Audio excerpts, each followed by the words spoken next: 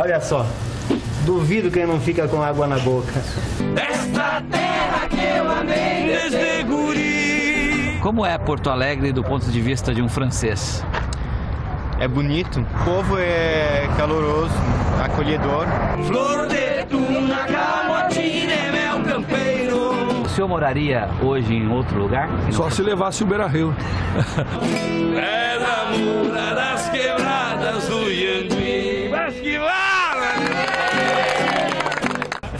Flor de tuna, camotina e mel campeiro. O que? Pedra moura das quebradas do Ianduí. Olha que coisa mais fácil isso, né, Che? O que quer dizer isso?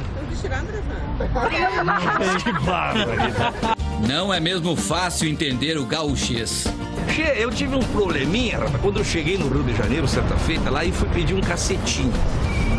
Imagina a situação que me criou, eu numa padaria pedindo um cacetinho. Mas quem decide morar aqui, como o francês Kevin, se adapta logo. Já aprendeu alguma gíria? Tá, eu falo bar, já. não falo tchê. O tio ainda é Ainda difícil, não, ainda, é ainda não. difícil. Ah, falou tudo, gaúcho também. Em vez de você, o tu. O tu, guria, guri. O que, que você diria para os franceses que, que virão a Porto Alegre para ver a França jogar na Copa? Eles vão ver um, um povo muito caloroso, muito acolhedor. Então, o estádio também, que é, eu acho muito bonito, o mais bonito do Brasil. A reforma do Beira Rio custou 330 milhões de reais. Foi um dos últimos estádios a ser inaugurado. As obras em torno dele ainda não terminaram. Eu acho que talvez não fique tudo pronto, tudo direitinho, mas na próxima Copa do Mundo no Brasil, lá por 2060 mais ou menos, eu tenho certeza que nós vamos estar tudo organizado, é, né? Porto Alegre também foi sede na Copa do Mundo de 1950. Dois jogos aconteceram aqui, dois jogos do México, um contra a Suécia e outro contra a antiga Iugoslávia. Essas duas partidas também aconteceram no estádio do Internacional, só que o estádio antigo, que era chamado de Estádio dos Eucaliptos, vendido na década de 60. Esse estádio ficava exatamente aqui. O local agora virou um conjunto residencial. E não é que encontramos um pedacinho desse antigo estádio? Quando o Internacional comprou ele na década de 30, era tudo de madeira. Era uma arquibancada de madeira. Para a Copa do Mundo de 50 foi feito de cimento. E esse cimento e pedra que nós cortamos antes da demolição do estádio total fica de recordação para os colorados daquela época. Seu Gelson é torcedor fanático do Colorado e reservou um quarto inteiro para acomodar essa paixão.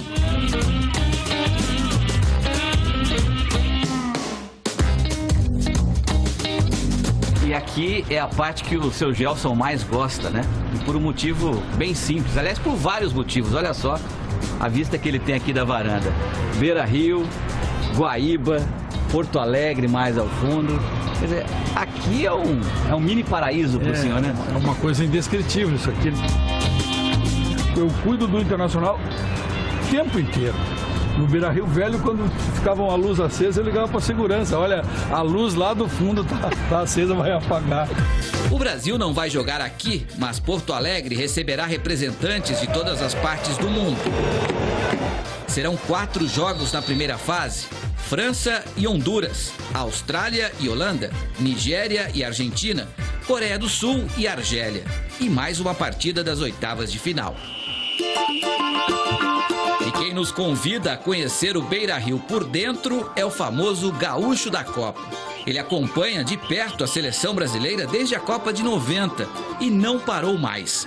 São seis Copas do Mundo, seis Copa América, quatro Copas das Confederações, uma Olimpíada, 66 países e 146 jogos com a seleção brasileira. O Cafu que se cuide, hein?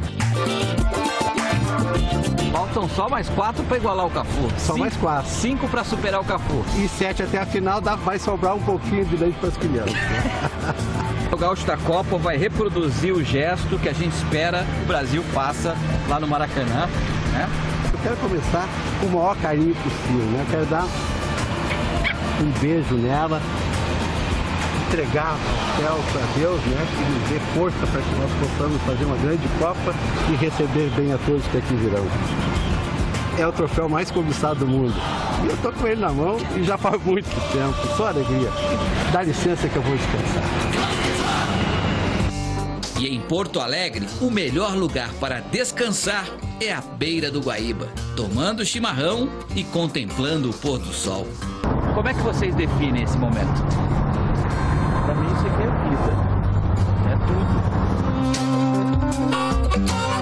Depois que o sol se despede no horizonte e a lua aparece soberana na noite, fomos ao encontro da maior tradição gaúcha, o churrasco.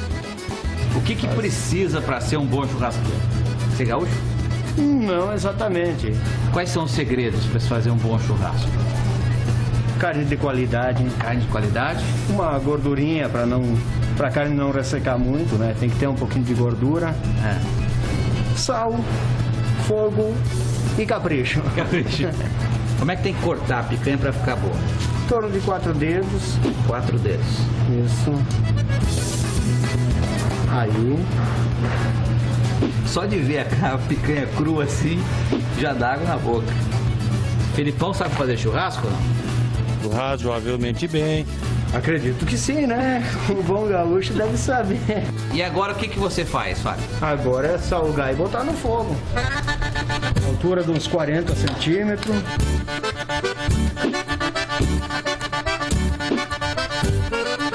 Afia bem a faca aqui para tirar uma lasca de picanha aí para nós provar.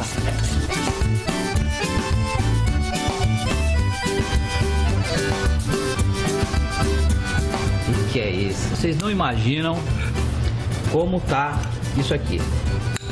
Tem que comer com a gordurinha, né, Fábio? Tem. É bom. Quem pode? Ah, eu preciso fazer uma coisa aqui. Dá licença, vem cá, Djalma. Eu preciso mostrar pro Djalma aqui. O Djalma, o Djalma tá olhando essa carne aqui, ó. Ele tá parecendo... Olha, olha esse Djalma. Coisa boa, né? Boa, boa. Parabéns, viu, Fábio? Feito. Parabéns, viu? Obrigado. Na Copa do Mundo, Porto Alegre vai oferecer um cardápio saboroso de opções.